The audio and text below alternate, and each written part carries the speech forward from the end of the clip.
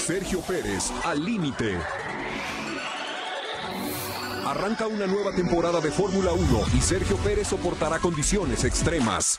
Una cabina que alcanza temperaturas de 60 grados centígrados y un traje que impide la disipación del calor.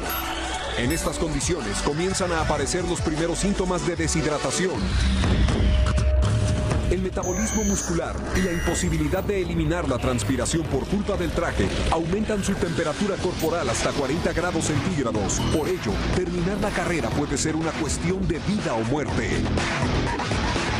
En curvas de alta velocidad como la curva 8 del Gran Premio de Turquía, Sergio Pérez puede sentir cómo la fuerza G tira del corazón dentro del pecho. En ese momento experimenta aceleraciones anteroposteriores de 5G que desplazan un órgano sobre el otro y al frenar violentamente, el casco y el cerebro se desplazan entre sí, trayendo como consecuencia dolores de cabeza severos y disminución instantánea de la visión.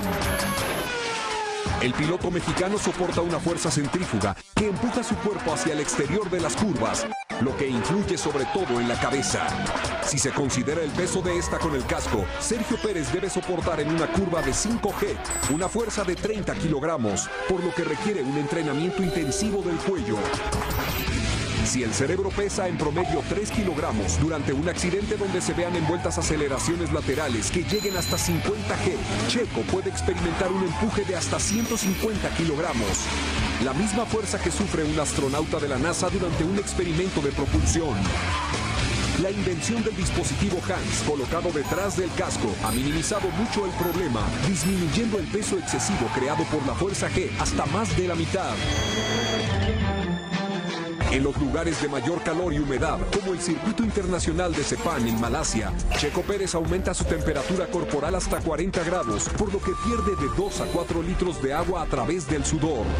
El nivel de agua en el cuerpo es de vital importancia, ya que si una persona pierde el 4% de su peso corporal en agua, pierde hasta el 40% de su capacidad física y psicológica. Para evitar golpes de calor fulminantes o calambres, los pilotos llegan a beber hasta 8 litros de agua días antes de cada carrera. Todas las cabinas de los monoplazas Fórmula 1 cuentan con una botella llena de agua con sales minerales.